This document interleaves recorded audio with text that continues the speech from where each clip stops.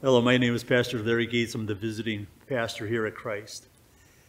Our word for the devotion today is taken from Matthew chapter 13, beginning at verse 47. Once again, the kingdom of heaven is like a net that was let down into the lake and caught all kinds of fish. When it was full, the fishermen pulled it up on shore. Then they sat down and collected the good fish in baskets, but threw the bad fish away. This is how it will be at the end of the age. The angels will come and separate the wicked from the righteous and throw them into the fiery furnace, where there will be weeping and gnashing of teeth. So far, God's word. Dear friends in Christ, go and make disciples. I always love the Great Commission because you see, it's one of the great instructions that God has given us. We who know the Bible, know God, have been instructed to take his gospel message and plant the seed of faith in the hearts of all the people around us. We can't convert anybody, but when we plant the seed of faith, it's only a matter of time before God will bring that person to faith. Well, that's the, the simple command that God has given us. Well, then why don't we? You know, quite often we leave that up to the pastors or other people because we say, well, maybe I'm not qualified or maybe I might make a mistake. And, and pretty soon the sinful nature convinces us that, no, we're, we really don't have to do this.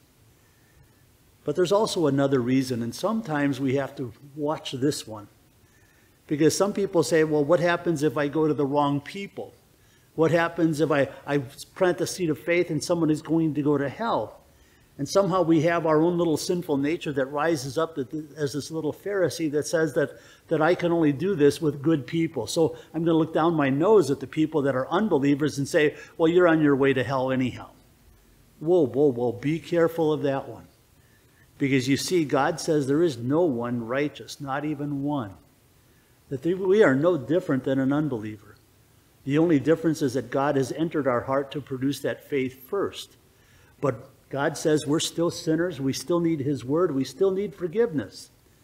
And so that's why it's so important for us to realize that the only way to change people and the only way to change this world is one soul at a time, planting the seed of faith in hearts. And sometimes we might have to plant a whole bushel basket of seeds.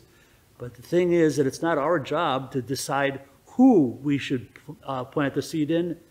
That's God's job to decide who's going to come to faith. No, God says, plant the seed of faith in all hearts.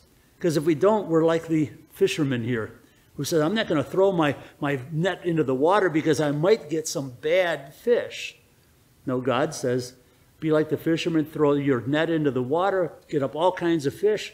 Then God will decide at the end of times who's going to heaven and who's going to hell. And that's why it's so important for us to understand this. To overcome that sinful nature, that little Pharisee in us that says that, that I can't do this, because that's Satan's way of stopping us. Now, the Great Commission says, Go. Go and make disciples of all nations, to bring the Word of God to them, to bring the gospel to them, to bring the, the, the love of Christ to them. Because when we do, we help people find Jesus. The best definition of evangelism I ever heard, it's simply one beggar telling another beggar where to find food. By the grace of God, we have found food.